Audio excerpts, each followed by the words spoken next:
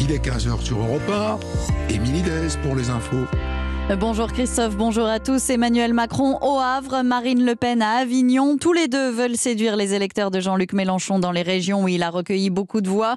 La candidate RN qui a réaffirmé sur France 2 vouloir renforcer la démocratie par l'intermédiaire du référendum d'initiative citoyenne. 500 000 signatures seraient nécessaires pour proposer ou abroger une loi. Le débat de l'entre-deux tours sera animé par les journalistes Léa Salamé et Gilles Boulot. Ce sera mercredi prochain, le 20 avril à 21h. Emmanuel Macron et Marine Le Pen s'affronteront pendant un peu plus de deux heures. Emmanuel Macron qui se rendra demain à la cathédrale Notre-Dame de Paris, trois ans jour pour jour après l'incendie qui a ravagé l'édifice. C'est une information européenne, un déplacement en tant que président de la République.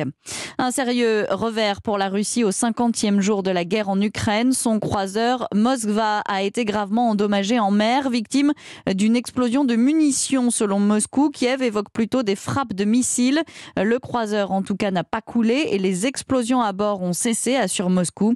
Neuf couloirs humanitaires vont être ouverts aujourd'hui en Ukraine pour reprendre l'évacuation des civils, notamment à Mariupol, assiégé par les forces russes depuis plusieurs semaines. 30 prisonniers ukrainiens ont été libérés dans un nouvel échange de prisonniers avec la Russie, annonce Kiev, soit cinq jours après la libération de 12 soldats et 14 civils ukrainiens. Plus de 4,7 millions de réfugiés ukrainiens ont fui leur pays 50 jours après l'invasion russe, selon les chiffres du Haut Commissariat de l'ONU. La suite du procès des attentats du 13 novembre, reprise aujourd'hui de l'interrogatoire de Salah Abdeslam. Hier, le principal accusé expliqué sur son comportement le soir de l'attaque et son refus d'y prendre part. Je n'ai pas renoncé par peur, mais par humanité, a-t-il expliqué. Twitter va examiner avec attention l'offre de rachat d'Elon Musk. Le patron de Tesla propose de racheter l'entreprise et de la retirer de la bourse new-yorkaise. Elon Musk est déjà le principal actionnaire de Twitter avec un peu plus de 9% de son capital. Un hommage national sera rendu à l'acteur Michel Bouquet le 27 avril aux Invalides. C'était le souhait de la famille. Michel Bouquet, monstre sacré du théâtre et du cinéma, mort hier à l'âge de 96 ans.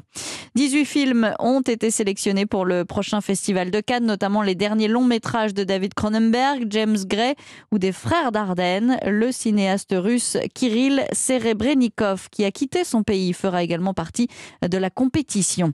Et puis du foot à suivre ce soir. Lyon reçoit les Anglais de West Ham en quart de finale retour de la Ligue Europa, coup d'envoi à 21h. L'Olympique de Marseille affronte de son côté les Grecs du PAOK Salonique en Ligue Europa Conférence. Europe 1, 15h03 sur Europe 1, la suite dont de la raconte, c'est maintenant.